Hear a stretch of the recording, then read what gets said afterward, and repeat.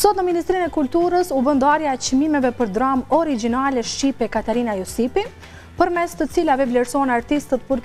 krijimtarinë e tyre dramaturgjike të vitit dy mijë e njëzet e tre, kur edhe shënohet njëqindvjetori i lindjes së aktores Katarina Josipi.